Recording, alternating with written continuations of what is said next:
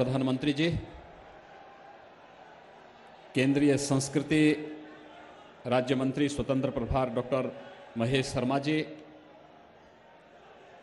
मान्य विधायकगण श्री तेजपाल तेजपाल सिंह नागर जी श्री पंकज सिंह जी श्री धीरेन्द्र सिंह जी, श्रीमती बिमला सोलंकी जी श्री विजेंद्र सिंह जी, भारतीय जनता पार्टी के सभी पदाधिकारीगण, और इतनी बड़ी संख्या में देश के यशस्वी प्रधानमंत्री और हम सबके नेता आदरणीय मोदी जी का स्वागत करने के लिए आप सब यहाँ पर उपस्थित हुए हैं। आज जब आदरणीय प्रधानमंत्री जी, अंत्योदय के प्रणेता पंडित दीनदयाल उपाध्याय जी की स्मृति को इस पुरातात्विक संस्थान को समर्पित करने जा रहे हैं। बुलंदसर अलीगढ़ और नोएडा इन जनपदों के मध्य में एक सुपर पावर थर्मल प्रोजेक्ट की स्थापना की आधारशिला रख रहे हैं। और इस नोएडा ग्रेटर नोएडा के मेट्रो के एक्सटेंशन के कार्य का शुभारंभ करने जा रहे हैं मैं इस अवसर पर अपने यशस्वी नेता देश के आदरणीय प्रधानमंत्री जी का हृदय से स्वागत करता हूँ, अभिनंदन करता हूँ। भाइयों बहनों हम सब जानते हैं कि कल भी प्रधानमंत्री जी ने उत्तर प्रदेश के अंदर पचपन हज़ार करोड़ रुपए की परियोजनाएँ उत्तर प्रदेश वासियों को और देशवासियों को सौंपी हैं। आप अनुमान करिए कि पचपन हज़ार करोड़ रुपए से अधिक के प्रोजेक्ट पश्चिमी उत्तर प्रदेश में दिल्ली को मेरठ के साथ रैपिड रेल के साथ जोड़ना, मेट्रो के उन कार्यों को आगरा मेट्रो का हो, कानपुर मेट्रो का हो, लखनऊ मेट्रो का हो, गाजियाबाद मेट्रो का है। और आज नोएडा, ग्रेटर नोएडा के इस मेट्रो कार्य के एक्सटेंशन का है।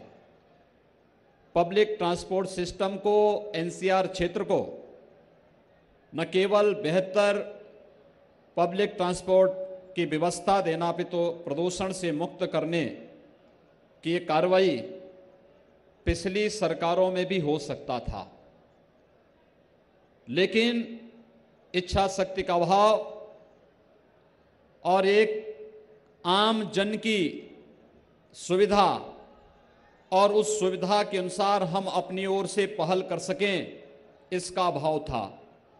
उनके लिए कार्य नामुमकिन था, लेकिन नामुमकिन को इन प्रोजेक्ट के माध्यम से मुमकिन बनाने का कार्य किया है। हमारे आदरणीय प्रधानमंत्री मोदी जी ने, इसलिए मैं उनका हृदय से स्वागत करता हूँ, अभिनंदन करता हूँ।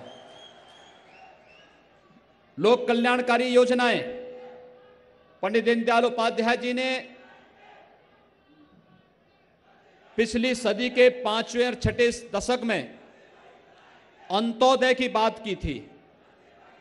और अंत्योदय की बात समाज के अंतिम पायदान पर बैठे हुए व्यक्ति को शासन की सुविधा और समाज की मुख्य धारा के साथ जुड़ने का एक बेहतर पहल थी।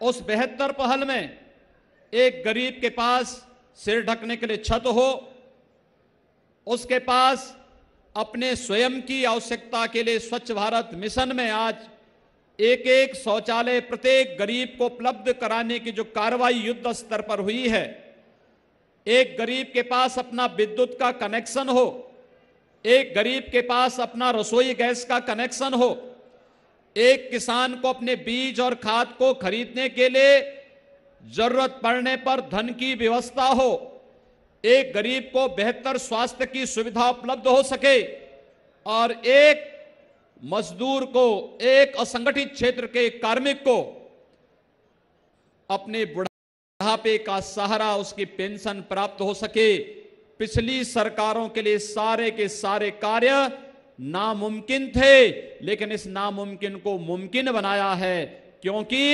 मोदी हैं तो.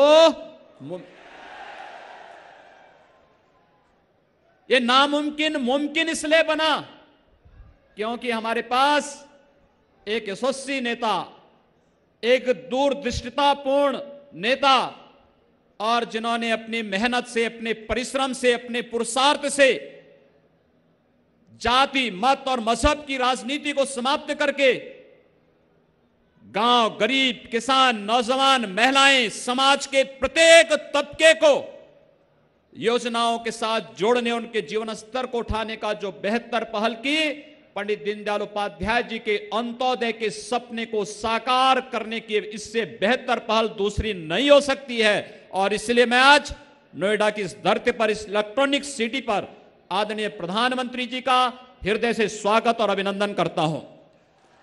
भाइयों बहनों, हम सब उत्तर प्रदेश के वासी हैं।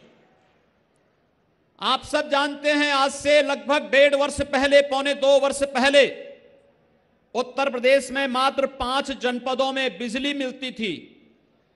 सत्तर जनपद विद्युत से वंचित थे।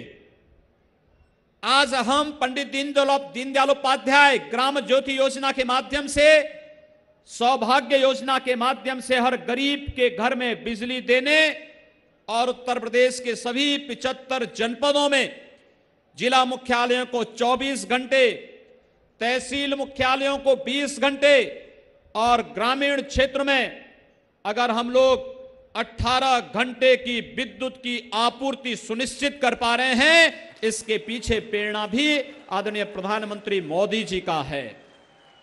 कांग्रेस सपा बसपा के लिए जो कार्य नामुमकिन था, उस नामुमकिन को मुमकिन बनाया है। कांग्रेस सपा बसपा के लिए जो नामुमकिन था आज नामुमकिन मुमकिन बना है, क्योंकि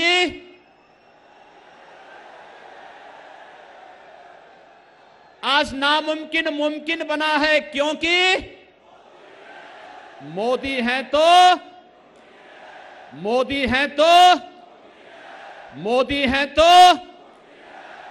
और भाइयों बहनों, देश की सुरक्षा, मुझे लगता है आज इस देश का हर व्यक्ति गौरव की अनुभूति कर रहा है। इस बात को लेकर के तीन घटनाएँ पूर्वोत्तर के राज्यों में कभी अलगाबाद चरम पर था। एक ही सर्जिकल स्ट्राइक ने पूर्वोत्तर के सभी आतंकियों को एक साथ नेस्तनाबूद कर दिया।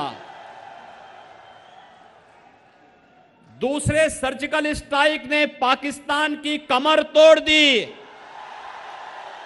और तीसरे एयर स्ट्राइक ने दुनिया के अंदर पाकिस्तान को ऐसा चित किया कि आज वह भीख मांगते हुए फिर रहा है, लेकिन उसको कहीं जगह में नहीं मिल पा रही है। यह है नेतृत्व। इसको कहते हैं नेतृत्व। यह है जो नामुमकिन को मुमकिन बना दे। और मित्रों नामुमकिन को मुमकिन बनाने का नाम ही है मोदी। और हम सबको गौरव की अनुभूति करनी चाहिए अपने यशस्वी नेतृत्व पर कि आज एक साथ इतने प्रोजेक्ट पश्चिमी उत्तर प्रदेश और नोएडा वासियों को, उत्तर प्रदेश वासियों को प्राप्त हो रहा है। मैं आभार व्यक्त करता हूँ आदरणीय प्रधानमंत्री जी का। मैं धन्यवाद दूँगा। डॉक्टर महेश शर्मा जी को, श्री आर के सिंह जी को और भारत सरकार को आदरणीय प्रधानमंत्री जी की प्रेरणा से ये सारे के सारे कार्यक्रम युद्ध स्तर पर जहाँ आगे बढ़ रहे हैं, वहीं साथ ही साथ पूरे देश के अंदर एक नया जोश आया है। एक नया उत्साह आया है। एक नया विश्वास जगा है कि भारत लोक कल्याणकारी योजनाओं में भी बिना भेदभाव के हर गरीब के द्वार तक शासन की योजनाएँ पहुंचेंगी, बिना भेदभाव के पहुंचेंगी। और साथ ही साथ यह भी विश्वास जागृत हुआ है कि बड़ा सा बड़ा प्रोजेक्ट भी अब हम सब के लिए असंभव नहीं है, नामुमकिन नहीं है। कल दिल्ली, मेरठ के बीच में जो रेपिड रेल की आधारशिला आदरणीय प्रधानमंत्री जी ने रखी है, उसका कीमत आप जानते हैं कितनी है?